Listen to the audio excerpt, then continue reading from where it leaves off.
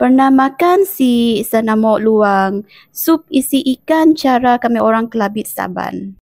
Selalunya makan ikan sungai nok si banyak tulang eh macam ikan sembilang, ikan baung, ikan patin. Kami makan isi ikan pelayak jate. Cucikan dan cincang halus isi ikannya. Sementara ya tutuk haluskan liat bawang merah dan bawang putih. Masukkan ke dalam periuk berisi air dan renehkannya. Bila dah mendidih, masukkan isi ikan teh eh. Gaul-gaulkan sampai isi ikannya hancur.